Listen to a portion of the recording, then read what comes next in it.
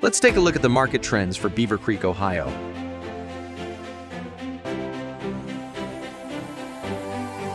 The median sold price is $320,000. That is an increase of 18.8% month over month.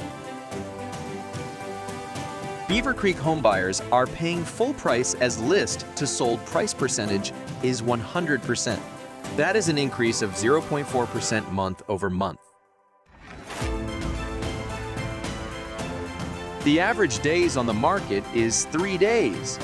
That is 40% shorter month over month. Beavercreek home prices have gone up since last year.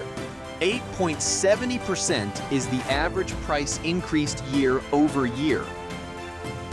Interested in your home value? Contact me today